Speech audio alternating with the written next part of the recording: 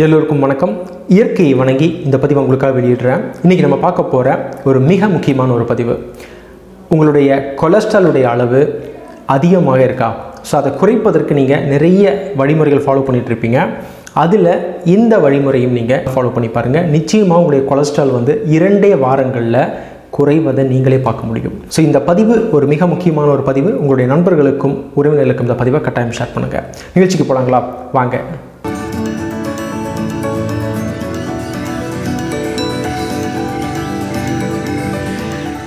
யாரும் அதிகமாக பின்பற்றாத தெரியாத ஒரு ரெமெடி தான் நான் சொல்ல போகிறேன் ஸோ இந்த ரெமெடி நீங்கள் ஃபாலோ பண்ணி பாருங்கள் இரண்டே வாரங்களில் உங்களுடைய கொலஸ்ட்ராலினுடைய அளவு வந்து குறைவதை நீங்களே பார்க்கலாம். ஸோ உங்களுக்கு தேவையான பொருட்கள் என்னென்னு சொல்கிறேன் கவனமாக பாருங்கள் முதல்ல ஒரு பீட்ரூட். ஒரு பீட்ரூட் எடுத்துக்கோங்க. ஒரு சின்ன கேரட் எடுத்துக்கோங்க.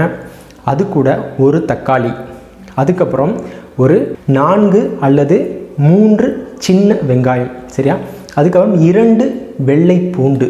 இரண்டு பூண்டின் பல் இரண்டு எடுத்துக்கோங்க. பெரிய பூண்டின் பல்லாக ஒரு ரெண்டு எடுத்துக்கோங்க.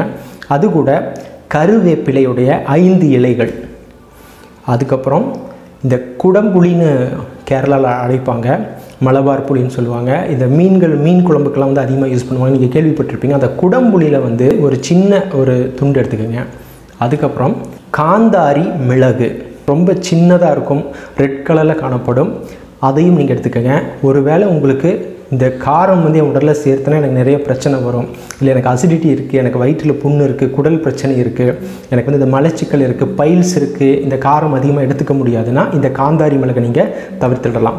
மற்றவர்கள் எனக்கு எந்த பிரச்சனையும் ஆகாது என்னால் இந்த கார உணவெல்லாம் சாப்பிட முடியும்னு நீங்கள் நினச்சிங்கன்னா இந்த காந்தாரி மிளகை சேர்த்துக்கிங்க. ஒன்றே ஒன்று சின்ன காந்தாரி மிளகை அதில் ஆட் பண்ணிக்கோங்க. ஒன்றே ஒன்று தான் ஸோ இதை அத்தனையும் சேர்த்து மிக்சியில் போட்டு கொஞ்சம் தண்ணி ஊற்றிக்கிங்க தேவையான அளவு அதில் தண்ணீர் ஊற்றி நல்ல ஒரு அடி அடிங்க. இப்போ உங்களுக்கு அது ஜூஸ் வடிவில் வந்துடும் அதை நீங்கள் ஃபில்ட்ரு பண்ணிவிடுங்க ஃபில்ட்ரு பண்ணதுக்கப்புறம் பட்டை இருக்கு இல்லையா? அதாவது நல்ல குவாலிட்டியான சிலோன் பட்டை கருவாப்பட்டை இருக்கு இல்லையா? அதை வந்து பொடி பண்ணி எடுத்து வைத்து கொள்ளுங்கள் ஆல்ரெடி இப்போ நீங்கள் ஒரு இருநூற்றம்பது கிராம் வாங்கினீங்கன்னா அதை பொடி பண்ணி எடுத்து வச்சுக்கலாம். அதில் வந்து ஒரு கால் ஸ்பூனு அந்த ஜூஸில் போட்டு நன்றாக கலந்து வெறும் வயிற்றில் குடிங்க.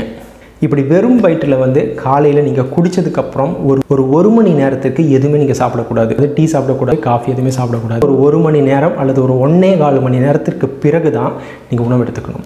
ஸோ இதை வந்து இரண்டு வாரம் நீங்கள் இதை தொடர்ந்து சாப்பிடணும். அதாவது முதல் வாரத்திலேயே உங்களுடைய கொலஸ்ட்ராலினுடைய அளவு வந்து குறைவதை உங்களால் உணர முடியும்.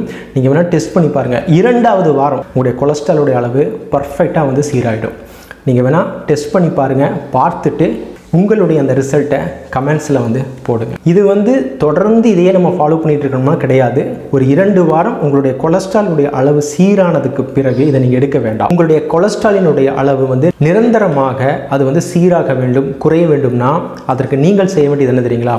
உடற்பயிற்சி நல்ல உணவு முறைகள் அதாவது காய்கறிகள் பழங்கள் அதே மாதிரி நல்ல தூக்கம் இந்த ஸ்நாக்ஸ் ஐட்டங்கள் அதிகமான கொழுப்பு உள்ள உணவுகள் ப்ராசஸ்ட் ஃபுட்டு டிரான்ஸ்ஃபேட் உணவுகள் இதெல்லாமே நீங்கள் சாப்பிடாமல் இருப்பது தான் மிகச்சிறந்த தீர்வு. குறிப்பாக ஹை ஃப்ரக்டோஸ் கான்சிரப்னு சொல்லக்கூடிய செயற்கை இனிப்புகளை வந்து நீங்கள் தவிர்ப்பது ரொம்ப நல்லது. அதே மாதிரி தினசரி ஒரு மணி நேரம் உடற்பயிற்சி செய்வது.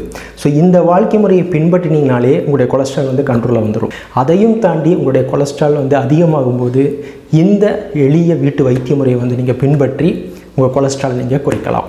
ஸோ இது ஒரு மிக முக்கியமான ஒரு பதிவு. உங்களுடைய நண்பர்களுக்கும் உறவினர்களுக்கும் இந்த பதிவை கட்டாயம் ஷேர் பண்ணுங்கள் மீண்டும் ஒரு நல்ல பதிவு நான் உங்களை சந்திக்கிறேன். நன்றி வணக்கம்.